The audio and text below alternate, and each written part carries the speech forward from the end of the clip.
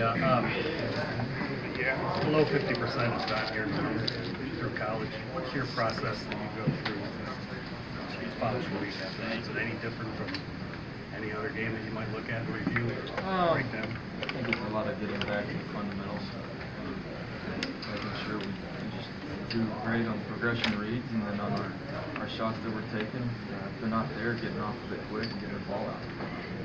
I think it, it goes back to getting into playmakers' hands. You know, I talked about that, but now it's time to actually it. So, uh, getting into their hands and let them do the work.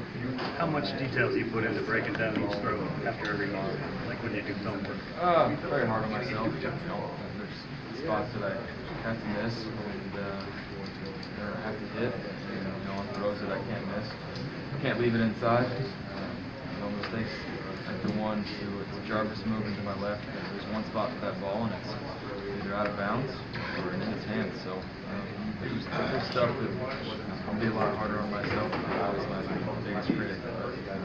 Gotta make those. It, it looked like uh, Chargers figured a way to keep you in the pocket.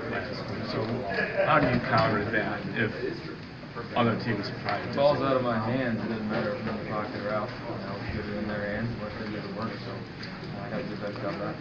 How do you suppose you navigate this uh, receiver situation right now? So many guys down, and, you know, plays not being made the last couple of games.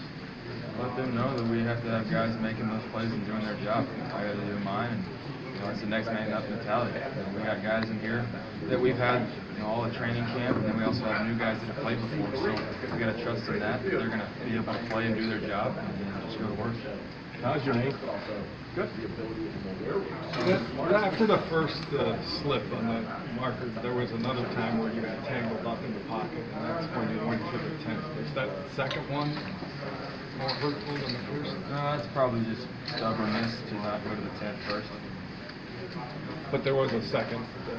No, but it, it wasn't worse than the first one. So obviously you don't ever use anything as an excuse, but, and I know they were trying to keep you in the pocket a bit, but some of you not slipping around like you usually do and escaping and all that kind of stuff, did the have anything to do with it? No, I don't think so.